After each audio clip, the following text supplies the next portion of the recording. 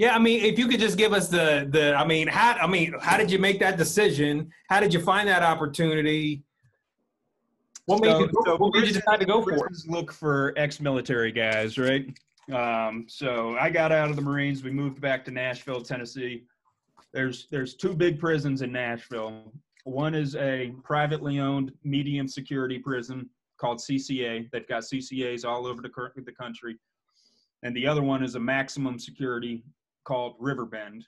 And um, I went and I, I found I don't know on Monster.com or whatever job site I was on at that point in time. Put my application in, got called into both, did uh, did interviews, and got uh, job offers from both.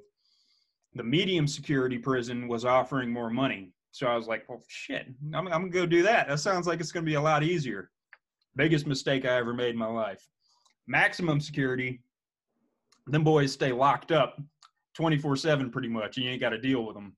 Medium security, you roll up in a pod, it's you and one other correctional officer. All you've got is a walkie talkie on your hip, and there's like 150 of these cats that come out and roam freely throughout the pod during certain hours of the day. So it is just mass chaos. And so, immediately being an ex Marine, I get put on to uh, one of the teams there that does extractions and you know if, if somebody's acting disorderly this team qrf if you want to call it that gets called in. And so like the second week that i'm there they call us up and they're like hey we've got a guy that's in solitary that is not coming out of his cell. We got to go extract him. So we go down to solitary and they're big you know probably seven foot by four foot metal doors and they've got a six inch window that you can see through. Well, this guy had covered up the window with cardboard. Well, how do you stick cardboard to a window? With your own fecal matter. So that's what he had used. We pop the door, we look inside there. He's butt naked, had covered himself in his own shit. There's shit smeared all over the walls. We slam the door back, back shut and we're like, all right, we got to think about this. So we end up going back to the locker room. We suit up, got a guy in the front with a shield, and then the rest of us have gas masks on.